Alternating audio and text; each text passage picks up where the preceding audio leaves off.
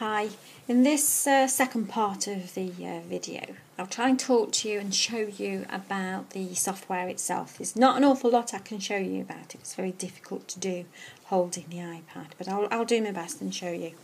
Uh, but basically I went into um, the um, shop where I live that sells lots of embroidery machines and I was saying that I was having a problem with this metallic uh, thread and the advice that he gave me, I mean, I think he thought I was some sort of Philistine. um, basically, that you have got a setting within the software that you can choose. You can actually choose to use a metallic thread. And also, I didn't realise that you can actually choose needles especially for metallics. So with using these two together and choosing it within the software, you get a lot better results and it doesn't break. So that's also um, a little tip for you. He also asked me what I was using to thread my uh, bobbin. Um, and I said, just ordinary thread. But no, he said, the best thing to do is get this bobbin fill. And apparently it's, uh, it's finer than your ordinary um, bobbin, uh, your ordinary thread, embroidery thread. So uh, if that can help you, um, it certainly helped me uh, get a, a, nicer design. Um, hopefully it will help you.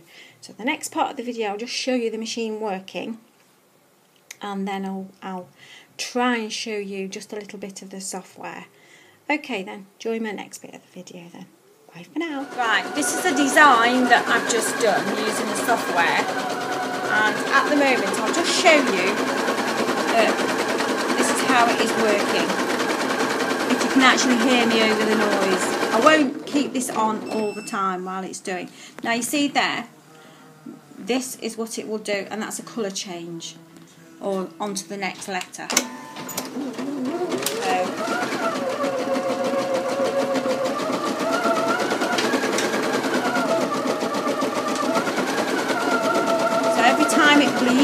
That's what you have to do. Press start again.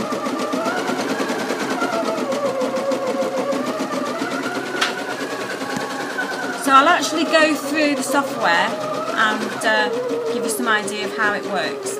Okay then, join me next bit of the video. Bye for now. another little design. I've showed you the machine actually working uh, and it's quite a good little machine actually, quite pleased with it. Now this is the software, the 3D uh, program that we're using. Now, um, it's a very old software um, and it's probably, well, I think this is 3D, I think it goes up to 7, 7D now, which is uh, so you can see how old this software is. But if you can get hold of this, um, like I say on eBay, uh, then it's well worth it. Using an old dinosaur uh, laptop that we've had in the attic for ages and I'll just give you a quick I'll try and give you a quick demo here. Um, it's very difficult to look through the iPad and hold this. Right, I'll go along the top toolbar here. Um, it's only going to be a quick flick through because the iPad gets pretty heavy. Right, now that there, here, that is there where you will find all the um, images that are incorporated in the in the uh, software. So if we just, I'm going to do this quite, so you're going to have to excuse me here. Right, so let's click on there. Let's go on some designs and I'm just going to see, there's some of the designs there. And that frame, this frame there is that frame there. Right, so if I wanted that, let's just click on it. Hang on a minute.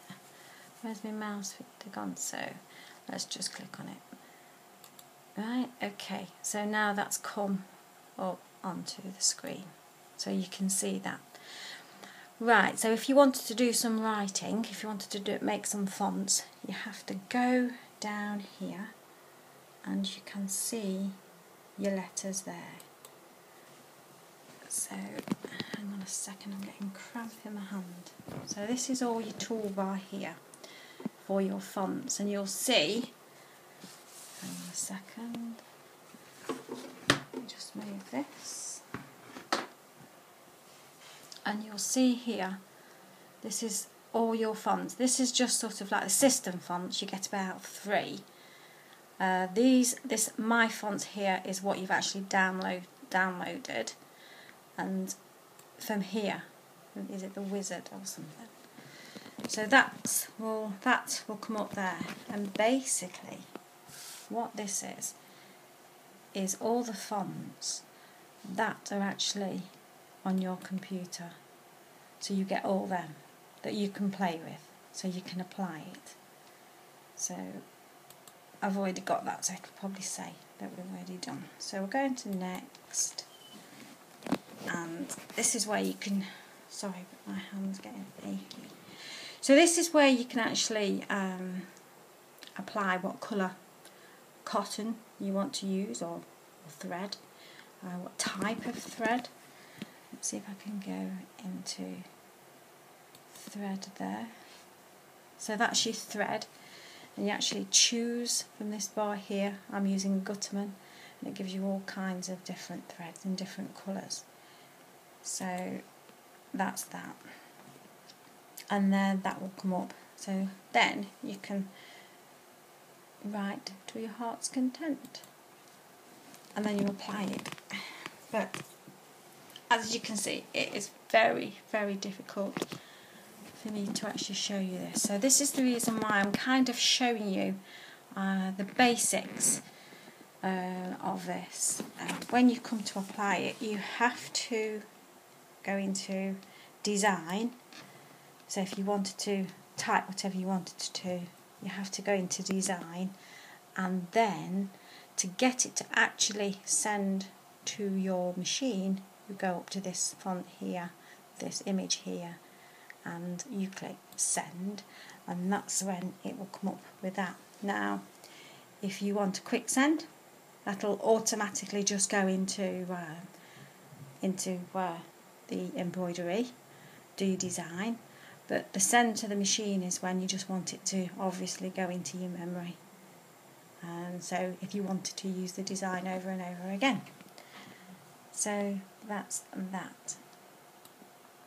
Now I don't know if there's anything else that I can actually um, help you with this software. It's a matter of you